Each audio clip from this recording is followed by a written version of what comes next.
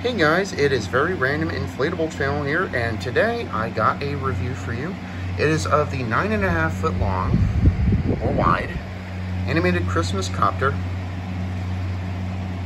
inflatable, from, I believe this one is being sold all over the place. This is being sold at Lard Yard, Lard, Yard Inflatables, uh, and they say it's 12 feet long, uh, but but in reality, it's actually nine and a half foot. So I don't really know what's with that, to be honest with you. So it is animated, as you can see over there. So yeah, let's take the inflatable out of its contents. So this inflatable comes with this contraption of a fan that is called a YEF 125 and you know how I can tell it's a 125? I don't have to look at the model because everybody knows what that one, everybody knows what a YF 125 or 200 looks like. It's got this huge um, opening here at the bottom of the base fan. So,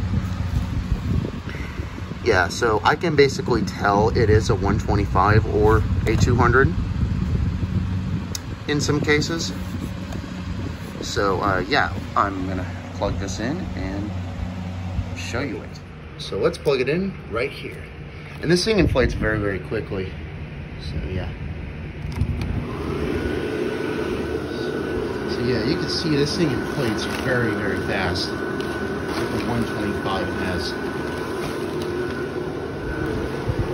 It's a pretty powerful fan too.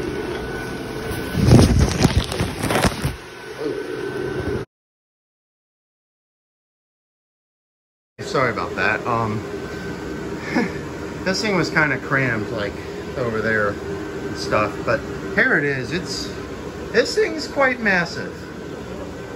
It, it's pretty darn massive. And uh, as you can see, Santa's rocking these shades there.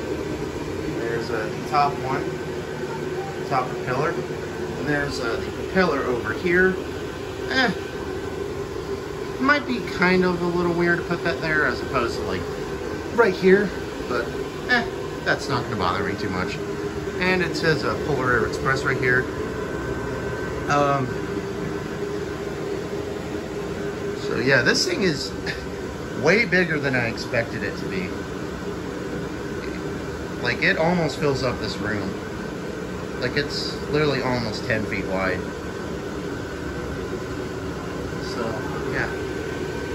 There's a little penguin there. It has little controllers that look like candy canes. This thing inflates, inflates very well with the 125 it has. And uh, these propellers have holes in them. That's what makes uh, the animation in it. So yeah, hope you enjoy this review and like and subscribe.